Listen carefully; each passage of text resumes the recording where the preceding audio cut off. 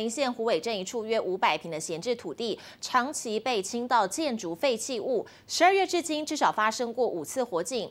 由于附近只有一支消防栓，水源缺乏，增加了打火难度，让消防队员疲于奔命。涉嫌乱倒垃圾的人也因此服刑中。两次规划清除，但都没有执行。环保局也将发出最后通牒，超过期限还没有处理的话，将先代为清除，并且向当事人求偿费用。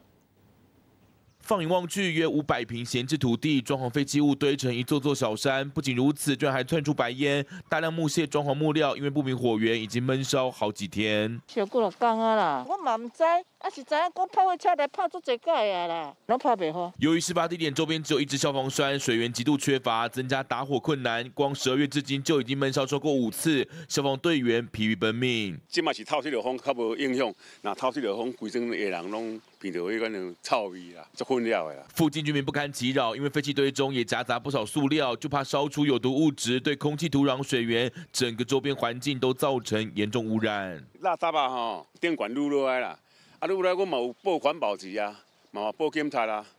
啊，但是不也嘛是不好啊。由于这块空地所有权人超过四十多人，难以划分地主权责，在一百零八年间就开始被人乱倾倒废弃物。如今当事人入狱服刑，两度规划要清除，但都没有执行。没有办法完成的话，我们可能会来强制的先代为执行。